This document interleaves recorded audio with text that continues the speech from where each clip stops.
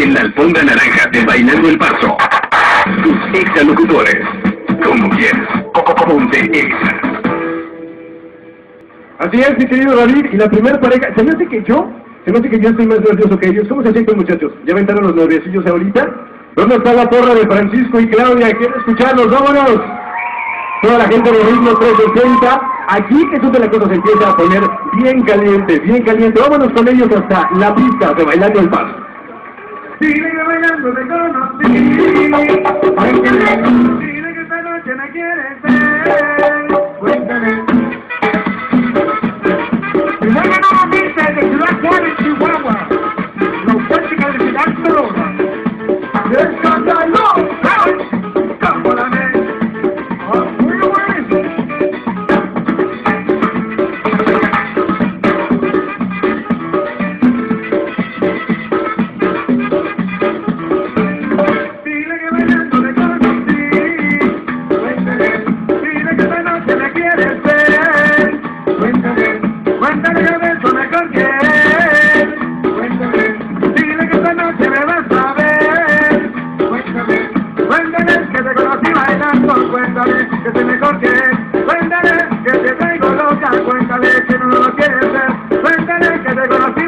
Conocí bailando. Cuéntale que soy mejor que él. Cuéntale que te traigo loca. Cuéntale que no lo quieres ver. Que quizá fue la noche la que te traicionó. El perfume de mi piel lo que te cautivó. Que ya no tienes excusa para tu traición. Que tuviste mis motivos que entre razón. Y el oído como ya él no. Olvídate del juego de la pasión. Que no le quites más ya ni de terror. Y si es por mí no pida perdón. Digo, te debería que lo perdones. Es que lo odies y lo abandones. Porque que te me recompones. Entonces salido ni otra noche.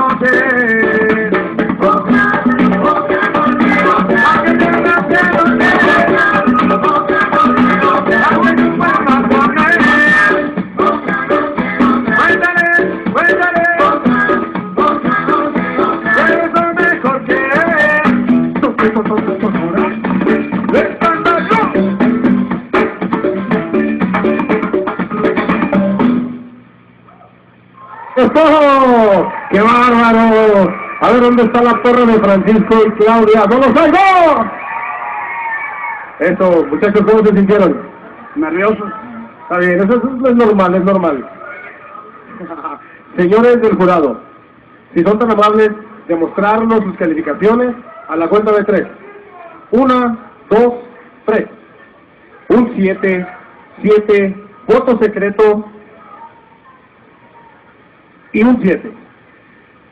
Señores del ¿algún comentario para nuestra primer pareja participante?